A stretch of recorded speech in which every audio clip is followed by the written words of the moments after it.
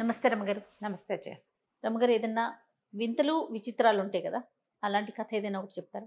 చెప్తా. చందమామలో వచ్చింది కథే ఒకటి. పూర్వమట నాగలోకంలో అపరాజిత అని ఒక నాగకన్య ఉండేది. అయితే ఈ నాగకన్యకి ఏంటంటే భూలోకం అంటే ఇష్టం. నాగులు స్వేచ్ఛా రూపులు ఏ రూపం కావాలంటే ఆ రూపం తీసుకుంటారు. ఆమె సర్ప రూపంలో కాకుండా మానవ రూపంలో భూలోకంలోకి వచ్చి అక్కడ విహరిస్తూ ఉండేది. ఒక మడుగులోకి వచ్చేదట. ఆవిడెప్పుడు? ఆ మడుగు ఎక్కడ ఉంది ఈ మన ఏమనాలి?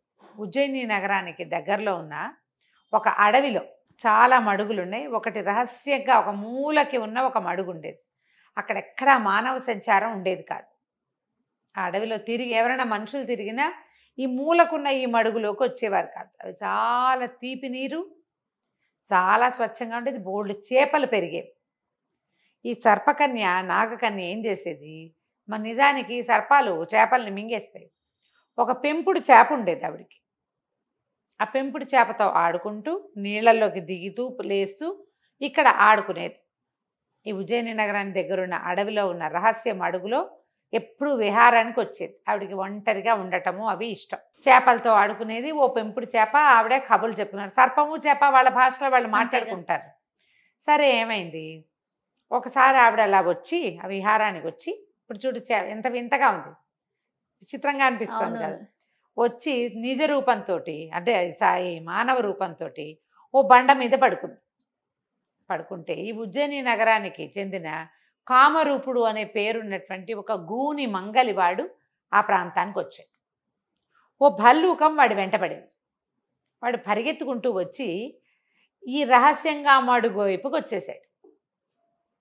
కళ్ళు చెదిరిపోయినాయి. ఎంత అందగత్తె?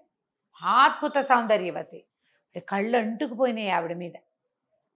ఆవిడ ఈ గూని నలుపు చిర్ర జుట్టు పళ్ళెత్తుగా ఉన్నవాడి రూపం చూసేసరికి కంగారు పడిపోయి అదేమిటి మనిషి ఇంట్లో ఇంత వికృతంగా ఉంటారా?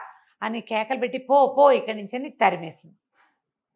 తరిమేసి నీళ్ళలోకి దూకేసింది. నీటిలోకి వెళ్ళిపోయింది. ఆవిడ దూకేసింది కానీ ఆ రూపాన్ని స్పష్టంగా చూసేసాడు వాడు ఆ అద్భుత సౌందర్యాన్ని. వాడు మతి మతిలో లేదు బయటికి వెళ్ళిపోయాడు ఇలా జరిగిన కొంతకాలానికి ఏమైంది? ఆ ఉజ్జయిని నగరానికి కేశవుడు అనే రాజుగారు కేశవ వర్మ. ఆయన రాజు. ఆయనకి పెద్దగా ఆడవాళ్ళ పొడగిట్టదు దానికి కారణం కేశవర్మ తండ్రి. ఆ కేశవర్మ తండ్రికి ఇరవై మందో పద్దెనిమిది మందో భార్యలు ఉండేవాళ్ళు. కానీ ఏ భార్య ఆయనతో లాయల్గా లేదు. వాళ్ళల్లో వాళ్ళు కొట్టుకునేవాళ్ళు వాళ్ళకి ఇతరత్రా స్నేహాలు ఉండేవి తర్వాత ఏమో పుట్టిళ్ళకి దోచేవారు. ఒకళ్ళ మీద ఒకళ్ళు కొండాలు చెప్పుకునేవాళ్ళు. చాలా విసిగిపోయేవాడు దాంతో ఆయన కేశవ వర్మ తండ్రి ఆడవాళ్ళని నమ్మకూడదని వాళ్ళని ప్రేమించకూడదని ఆయనకి పద్దెనిమిది మంది బార్లు ఉండి కూడా వాళ్ళని దగ్గర తీయకూడదని కొడుకుకి బాగా ఎక్కించాడు దాంతో ఈయన యుక్త వయస్కుడు అయినా కూడా వివాహం చేసుకోలే. అందంగా ఉండేవాడు. రాజుగారి అబ్బాయి కొత్తగా రాజు అయ్యాడు పెళ్ళి చేసుకోలేదు. పెళ్ళి చేసుకోకుండా ఉండిపోయాడు. కొంచెం రాజ్యంలో ఉన్న పెద్దవాళ్ళంతా పెళ్ళి కాకపోతే రేపొద్దున మనకి ఉత్తరాధికారి ఎట వస్తాడు ఏమిటి అని ఆలోచించేవారు కానీ అతను వీళ్ళ మాట వినేవాడు కాదు. అంతమందిని కాకపోతే కొంతమందిని చేసుకోండి ఒక్క అమ్మాయినైనా చేసుకోండి అనేవారు. కనీసం. కానీ ఆయనకి ఏ మనిషిని చూసినా నమ్మకం కలగల. ఒకనాడు ఆయన వేటకి వెళ్ళి తిరిగి వస్తూ అనుకోకుండా ఈ కొలం దగ్గరికి వచ్చేసాడు ఈ మడుగు దగ్గరికి. అక్కడ ఈ నీళ్ళలోంచి పైకి లేచి చేపతో ఆడుకుంటున్న మన అపరాజితని చూశాడు. అపరాజిత కూడా చూసి ఎంత బాగున్నాడు ఎంతో బాగున్నాడని ఆవిడ వాళ్ళు స్వేచ్ఛాజీవులు ఎవరి మీద మనసైతే వాళ్ళ దగ్గరికి వెళ్ళిపోవటం వాళ్ళ ప్రవృత్తి. గబగబా దగ్గరికి వెళ్ళి ఆయన కావలిచ్చుకుంది. నన్ను ప్ర- నన్ను వివాహం చేసుకో నేను నిన్ను ప్రేమించాను గాంధర్వ వీధిన నన్ను వివాహం ఆడు నువ్వు నాకు నచ్చావని. అనేసరికి ఆయన తోసేసాడు. చీచి నేను ఆడాళ్ళని నమ్మనని తోసేసాడు. ఆవిడ తెల్లబోయింది. స్త్రీ తనంతట తను వలి చూస్తే మగవాడు ఒప్పుకోవాలి. వాడికి ఇద్దరు పెళ్ళాలన్నా పదహారు మంది పెళ్ళాలున్నా సరే. వీడు చీచి అంటున్నాడు. ఆవిడ తెల్లబోయి నీళ్ళలోకి వెళ్ళిపోయింది. ఈయన తిరిగి వచ్చేసాడు. వచ్చాడు కానీ డల్గా అయిపోయాడు. ఆయనకి స్త్రీ మీద ఆసక్తి లేదు. ఆడాళ్ళ మీద నమ్మకం లేదు కానీ ఆమె సౌందర్యం ఆయన ఆకర్షించింది. ఇక మర్చిపోలేకపోయాడు. డల్గా అయిపోయాడు. కానీ ఈ అడవిలో ఈ నిమిషంలో ఏం జరిగింది అనేది అటు సైనికులకు కానీ ఎవరికీ తెలియదు ఎందుకు డల్ అయ్యాడని ఎందుకు. డల్ అయ్యాడో తెలియదు మహా డల్గా ఉండేవాడు. ఎన్ని వైద్యాలు చేయించినా నార్మల్కి రాల నీరసపడిపోయాడు ఆహారం తక్కువ తీసుకునేవాడు. నిద్ర పట్టేది కాదు. ఒంటరిగా తిరుగుతూ ఉండేవాడు. రోజులు గడిచిపోయినాయి.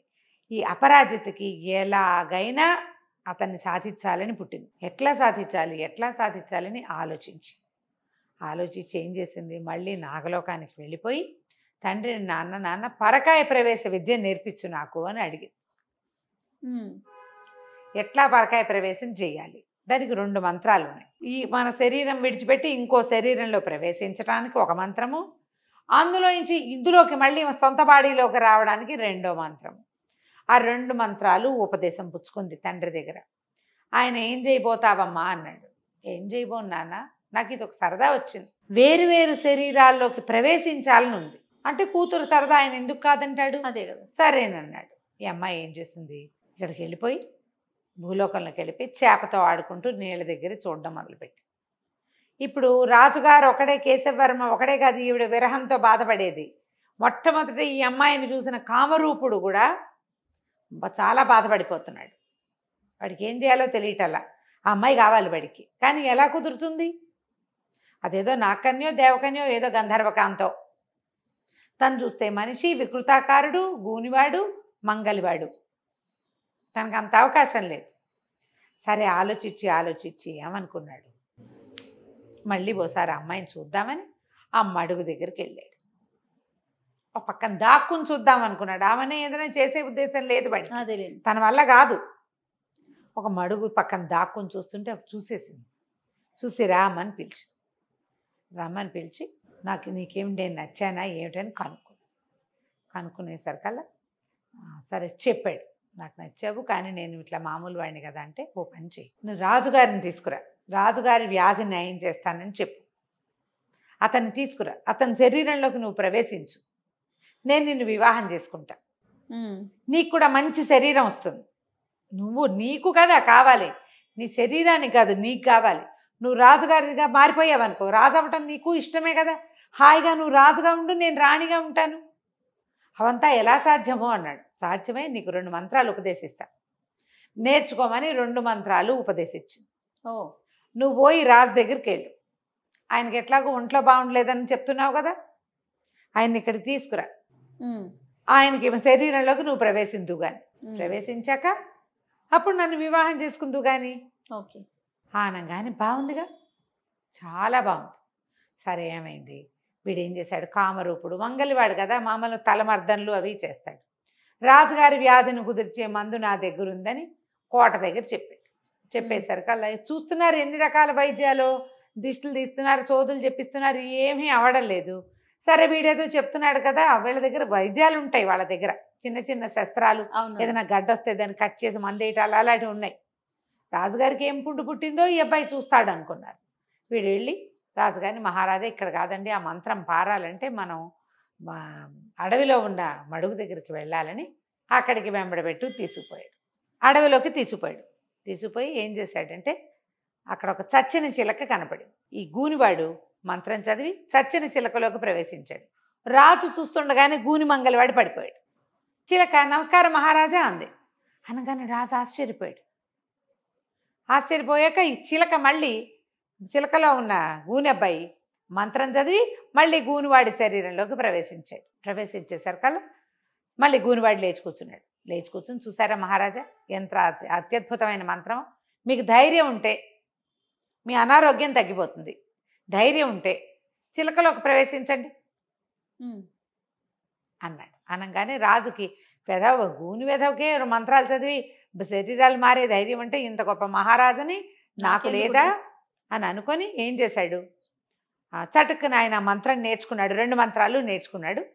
ఆ చిలకలోకి ప్రవేశించాడు. ఎప్పుడైతే రాజుగారి శరీరం పడిపోయి చిలకలోకి వెళ్ళిపోయాడో గూనివాడు వెంటనే తన మంత్రం చదివేసుకుని గూని శరీరం వదిలిపెట్టి రాజు శరీరంలోకి ప్రవేశించి అయ్యయ్యో. రయ్యమని పరిగెత్తుకుంటూ తన పరివారాన్ని దూరంగా పెట్టి నుంచోబెట్టి ఇక్కడ మాట్లాడుతున్నారు అనమాట వాళ్ళని కలుసుకున్నాడు.